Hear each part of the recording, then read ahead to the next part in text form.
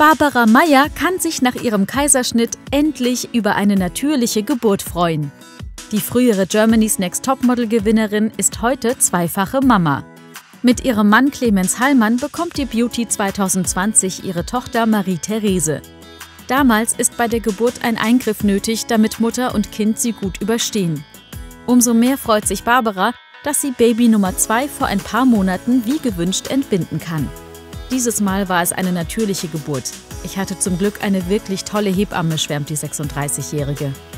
Nach dieser Erfahrung ist Barbara nun auch viel gnädiger mit sich und ihrem After-Baby-Body. Und das, obwohl der Druck auf Mütter und besonders Models sehr hoch ist.